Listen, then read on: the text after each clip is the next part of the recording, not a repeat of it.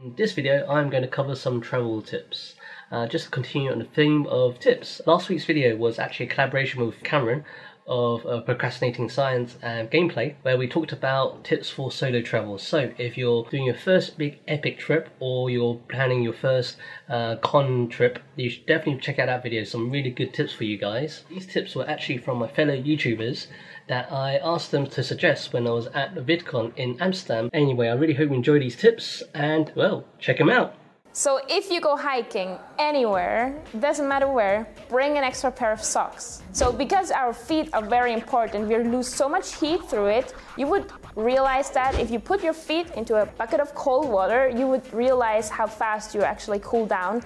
Bring an extra pair of socks. It will keep you warm. When you get to a city that you really want to see, any place, whether it's a city, I suppose, or out in the countryside, explore. Take some time to walk. And one of the best things that I like to do when I explore in a city like Paris is have one place in mind that's not near me and start walking. And then when you get to somewhere where you see a spire, a tower, a bridge, something interesting, divert. Just go for it. Check that thing out along the way, see something else, go find that. And one of the best ways to explore, I think, is really just to go and see what you find and what interests you as you go. And usually those tall things are really good landmarks to help you get going that way. And if you're in a city like Paris where there are no straight streets, you won't find it anyways, but you will find a lot of interesting things along the way. Keep your electronics and metal objects already in your jacket pocket so that when you pass through security, all you got to do is take your jacket off and everything is already gone. Because I'm an allergic, um, I, I can't eat um, peanuts and soya sauce. Uh, well, soya beans, really. I can eat soya sauce, but not soya beans or anything else with soya protein. So, for me, it's really important to always check that I have my med medication, you know, in case of, and always to know um, just a bit about the local food of where I'm going. What, what's the key ingredient in the food that I use? I usually go to the internet to Google and search for insert place I go to and um, local food and standard ingredients and stuff.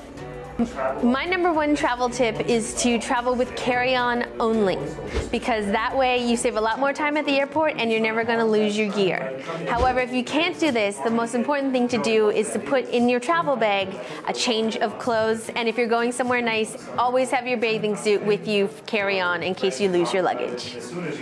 So my tip would be to use Instagram as a travel agency because nowadays like everything has become quite mainstream like everyone travels to the same places or like a travel agency will try to get you to a place where they have like a contract with and stuff like that. But if you just search on Instagram with like the location tag of where you're interested in going, uh, you can find a lot of like hidden spots that you wouldn't normally find, and then you can maybe send the the person on Instagram a private message and ask them about like how they got there, what things you can do around there, and it's like having a private guide kind of that you just find online. So yeah, I've done a lot of trips like that, and it's always worked really well. So don't keep all your money on you ever. Like your money for the trip, either keep it keep some of it in cash and keep some of it on an actual travel card, but also don't keep it all together. Separate certain amounts around your room, not in the same place. Hide them in a book, hide them in your passport, hide them in the bottom of your bag, or even like a pair of socks. And that's it, guys. I hope you found those travel tips really, really useful definitely let me know your favorite tips in the comments below. Uh, hit the like button. I'm thinking of doing a series about more about travel tips uh, in general and just yeah create more videos around that. Love to hear what kind of tips that you like to hear as well. Add it in the comments below and i'll see what i can do. Um, and of course definitely hit the subscribe button so you don't miss out on any future videos and yes, you have an amazing day. Spring is out. It's lovely blue skies outside. And I'll catch you at the next video. And this video, and this video.